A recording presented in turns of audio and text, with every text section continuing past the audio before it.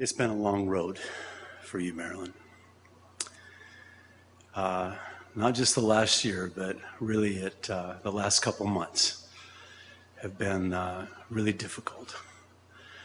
Uh, I remember just talking with Marilyn on the phone when I couldn't come. I would call her. I was a pest. I would call her all the time and just keep giving her scriptures and telling her it's going to be okay and and uh, trying to encourage her and encourage Gil. And we didn't think that we would be here today at his memorial service. When uh, Marilyn called me to uh, tell me that he had fallen and broken his hip and that he had had an accident uh, and was in the hospital, I mean, who would have thunk? That we would, uh, two months later, uh, see him go home to be with the Lord. One of the things that I've talked with Marilyn about and, and prayed for Marilyn for is that death is not an accident. Gil breaking his hip was an accident, but his death was not an accident. His death was an appointment. This is what the Bible describes death as. The writer of Hebrews wrote in 927, it is appointed unto men once to die. It's an appointment with death, if you will. Gil's death didn't take God by surprise. Uh, it was foreknown by God who knows all, who knows the end from the beginning. The psalmist in 139, verse 16 says, All the days ordained for me were written in your book before one of them came to be. In other words, God knows all the days of our lives. He knows the day of our birth, He knows the day of our death, and He knows all the days in between, even before we are born. Because God knows all he is omniscient and he knows the end from the beginning. There's a psalm that's often quoted at memorial services. It's found in the 116th psalm in the 15th verse, and it goes like this. I'm sure you've probably heard it. Precious in the sight of the Lord is the death of his saints. Now, at first glance, that seems real, you know, apropos to quote at a memorial service, but upon further examination, it almost sounds like God's anxious for people to die. And that's not the case at all. It doesn't mean that God was anxious for Gil's death. Rather, it means that God took serious Gil's death. Like Gil, every single one of us here today at his memorial service have an appointment and it is an appointment with death. Why? Because God takes it very seriously. Death is serious. Uh, the reason is simply this In the sight of the Lord, if a saint, a believer, one who was born again of the Spirit of God, dies, the Apostle Paul says, to be absent from the body is to be present with the Lord. There's a celebration in heaven, as it were. As Marilyn shared, I, you know, looked down at Gil. They had really officially pronounced his death, and she looked at me and asked me, He's, he's not here, is he? No, he's not here. This is just his body. He is absent from his body, and he is present with the Lord. Now, that might seem a little bit unfair to have an appointment that you never scheduled. And it happens to be a pretty serious appointment and one that you're going to keep whether you like it or not. And it happens to be an appointment with death. Why does God take death so seriously? And why is the death of his saints precious in his sight? Solomon in Ecclesiastes wrote, chapter 7, verses 1 through 4, the following the day of death is better than the day of birth, It is better to go to a house of mourning than to go to a house of feasting. For death is the destiny of every man. The living should take this to heart. Sorrow is better than laughter because a sad face is good for the heart. The heart of the wise is in the house of mourning, but the heart of fools is in the house of pleasure. In other words, it is better to mourn at a memorial service than feast at your company Christmas party. Why is that? Well, clearly, God doesn't want us to ever have any fun. Please don't believe that because nothing could be further from the truth. God's not this killjoy in heaven never wanting us to experience joy in a morbid sort of way, saying it's better for you to mourn than to party. It's better to go to a memorial service like this than it is to go in and feast. Well, there's a reason for that. You see, today we have been faced with the reality of death. And it is something that we will all face, absent the return of Jesus Christ for his church. In the event the Bible calls the rapture. In other words, every single one of you here today, should the Lord tarry, will likely have a memorial service. Now, why would God say that it's better to go to a memorial service than to a party. It's because when we're at a memorial service, we take to heart our brief lives in this world. Life is short compared to eternity. And you see, God never created us for this life, He created us for eternity.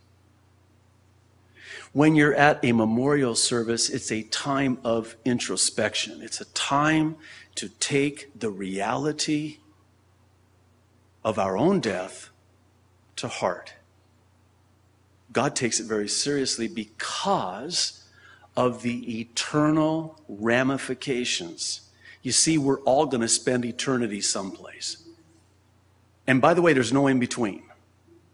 I mean, no disrespect to religions that teach that there is, but the Bible does not teach that. The Bible simply, clearly, and specifically, and even explicitly teaches that we will either spend eternity in heaven or we will spend eternity in hell. That's pretty serious.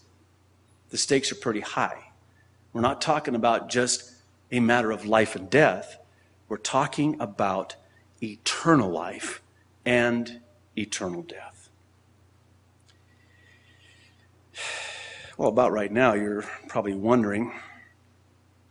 I mean, here you come to Gil's memorial service, and the pastor gets up here, and Marilyn just got done telling you how much she loves me, and I just, you know, I love her too, and I don't think you love me right now because, you know, but I have to tell you the truth.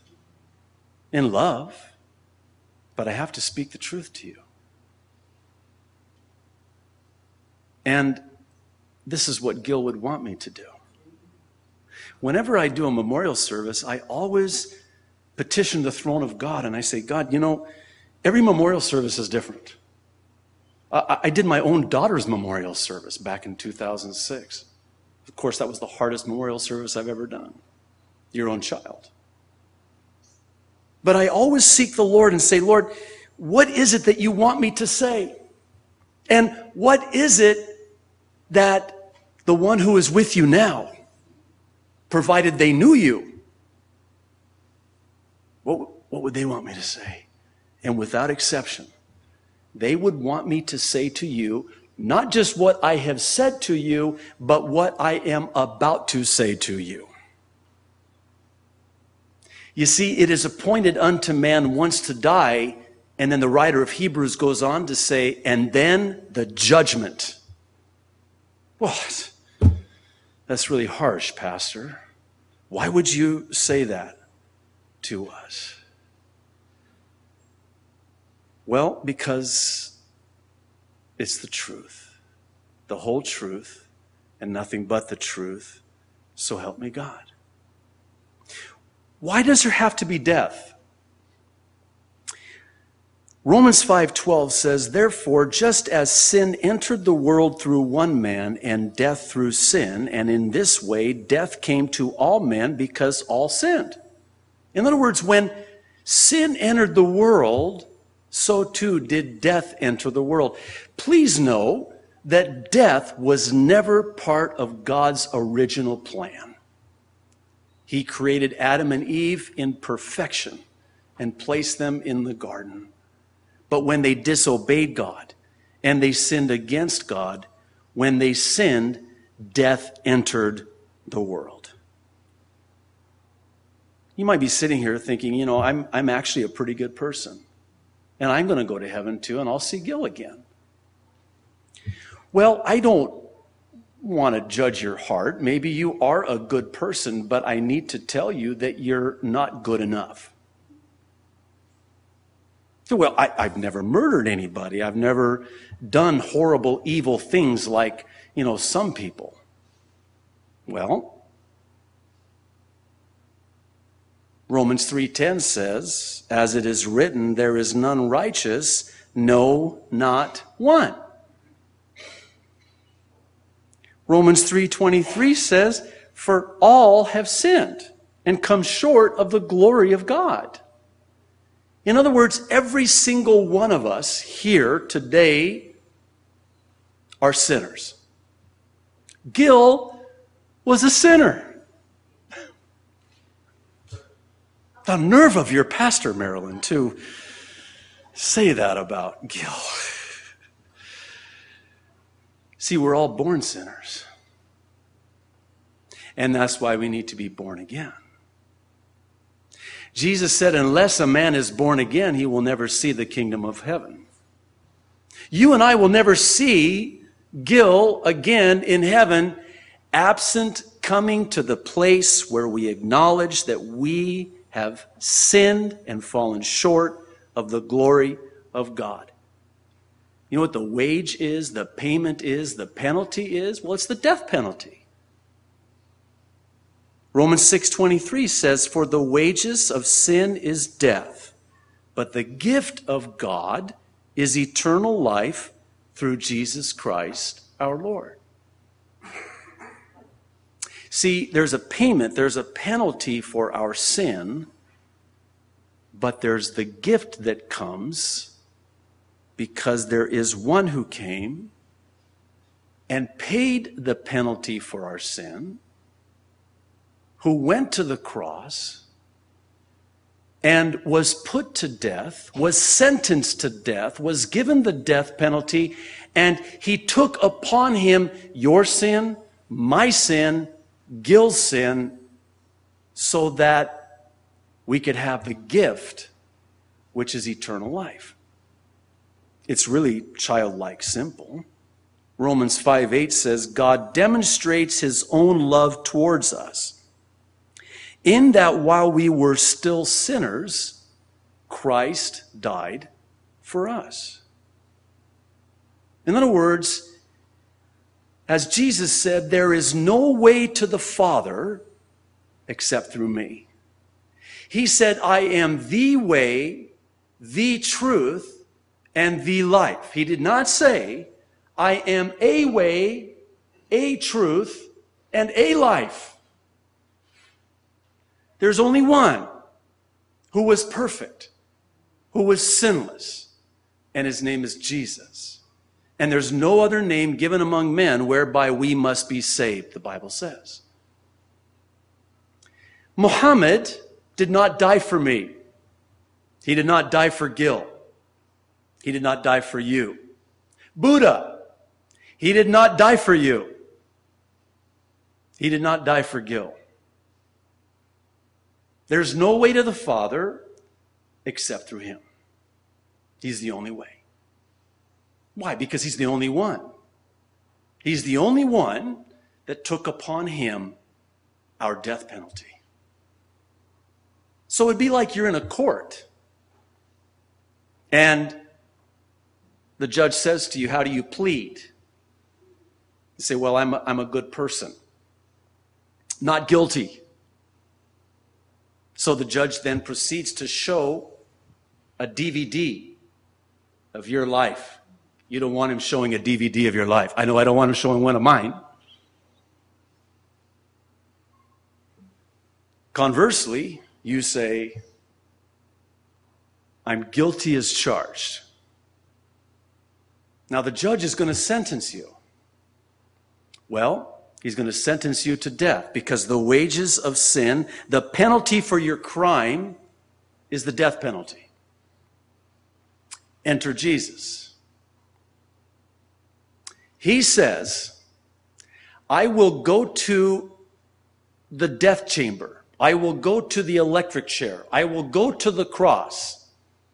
I will go to my death in your stead and I will pay your death penalty for you. And you can go free. The Bible says, Whom the Son sets free is free indeed. I think, Marilyn, for me, perhaps one of the best times in Israel was when you and Gil walked out into that cold, cold water to be baptized. And you remember what I asked you? Do you know what this means?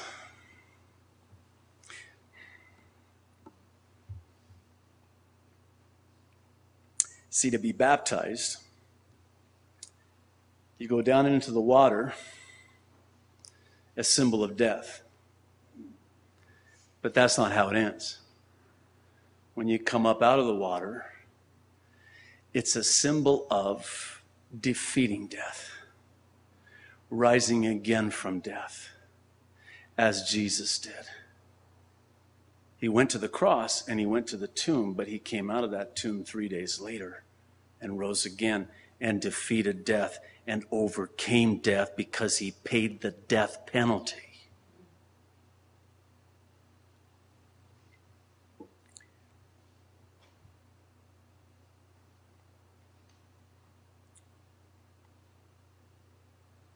Marilyn really made a, a beautiful plea. If there's anything that you could do for her, and even for Gil for that matter, it would be to believe on Jesus Christ and accept his payment for you as your Lord and Savior. Because I can assure you, on the authority of God's word. When you're standing before God and He asks you, How do you plead? If you say not guilty and you try to enter into heaven on your own merit and your own righteousness and your own good deeds, you'll never see Gil again. You'll never enter heaven. The only answer you and I and Gil can give is I accepted Jesus Christ's payment for me in my stead. And I have been pronounced not guilty.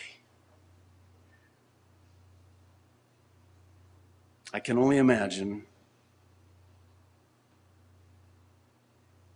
early that Friday morning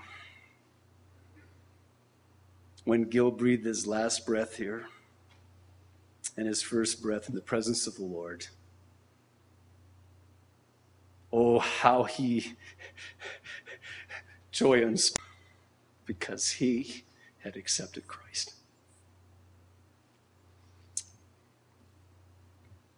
How do I accept Christ? You know, the problem is it's too simple. We think we have to do something. Ephesians 2 8 and 9 says, For by grace you are saved through faith. It is the gift of God. It is not of works, lest any man should boast. I can assure you, Gil never stood before the Lord prior to entering in saying, Oh, you know, I was, I was a good guy. Ask Marilyn.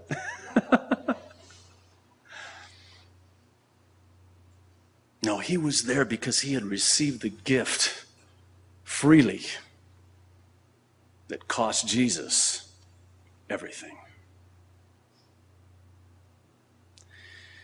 Romans 10, verses 9 and 10, gives us the answer as to what it is that we must do. If you confess with your mouth Jesus is Lord and believe in your heart that God raised him from the dead, you will be saved. Not you might, not the jury is still out. No, you will be saved. For it is with your heart that you believe and are justified, and it is with your mouth that you confess and are saved. Romans 10, verse 13, is perhaps one of my favorite verses in all of the Bible. It says, All who call on the name of the Lord will be saved. You know, all means all. All. All of you. Any of you. That's all you have to do is call on the name of the Lord. Believe in your heart, profess with your mouth, and you will be saved. You know what happens at that very moment? The Holy Spirit indwells you. You see, there's a misnomer we think that Christianity is a religion. It's not, it's a relationship. See, religion is what man does for God. Islam is a religion. Those terrorists on 9 11 were trying to earn their way to paradise. So, in order to do that, they had to become martyrs and murderers and fly those planes into the Twin Towers and the Pentagon. In other words, that's what they had to do to enter paradise. That's Islam, that's not Christianity. See, Christianity is not what man does for God. It's what God has already done for man. He became a man, flesh incarnate. That's about what we're uh, about to celebrate during the Christmas season the birth of the Savior, Emmanuel, God with us. God became one of us so he could die for us because he wants a relationship with us, not a religion. Then there's nothing we have to do. He's already done it. All for all who will call. Is that you here today? That may be why you're here today. I want to give you that opportunity today. Now, we're not going to do any, and I know it's a little warm in here. I know how hard those pews can get. of course, I'm standing, you're sitting, so bless your hearts. But just real quickly, where you're sitting right now, I don't need to see your hands because God sees your heart. And in a moment, we're going to pray. And I'm going to lead us in prayer. And as I'm praying, I want you to talk to Him as a child to your heavenly Father who loves you so much, loves you so much that he sent his only begotten Son, that whosoever would believe in him would not perish, but have everlasting life. I want to take a step further. If you will accept him, then I want you to tell Marilyn. Because I'll tell you something, that will be the one thing that you can do that would bless her during this time of grieving. Let's pray.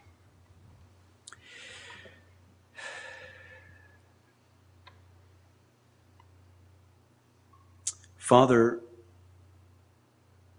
thank you for sending your only begotten Son. Thank you for providing for us a way to you. Jesus, thank you for willingly going to that cross almost 2,000 years ago and taking all of our sin upon yourself and paying for it in full so that we could have eternal life with you. Lord, we can't thank you enough that Gil had made that decision and accepted you and now is with you. Lord, now we're here. We're gathered here today. Friends, family, loved ones. And perhaps this is the time. And there is no more time.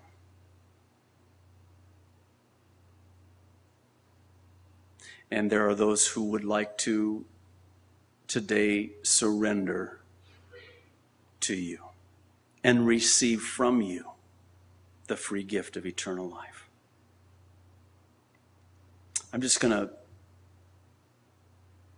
remain silent for a moment, and I want to give you an opportunity, just in the quietness of where you're sitting, to pray. It can be as simple prayer as, Lord, I believe what Marilyn's pastor is saying, and I, I want what Gil has now, and I want to accept your payment for my sin that I might have eternal life. Doesn't matter how you say it, it's just that you say it. Will you?